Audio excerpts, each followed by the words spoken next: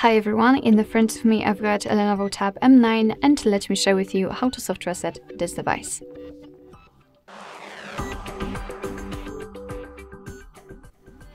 So if for some reason your device stopped working properly, so it does not respond to your touches, then you can try to force restart it, so your device will simply shut um, all of the uh, processes and close apps will restart the system and it should work properly um, again.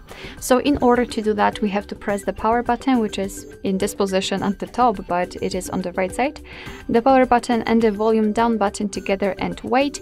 Mm, something around 8 seconds I believe to uh, force restart it. So let me try to do it. Let me press both of those buttons together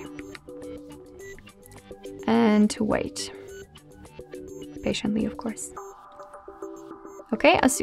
Oh no, accidentally I've just uh, released the button. All right, uh, let's do it again.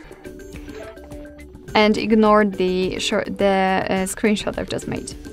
Uh, as you can see, we've got this information that our device is preparing to be turned off. Uh, I felt the vibration right now, we can see the developer's logo, which simply means that our device will restart. Alright, so that'll be all. Thank you so much for watching. I hope that this video was helpful and if it was, please hit the subscribe button and leave the thumbs up.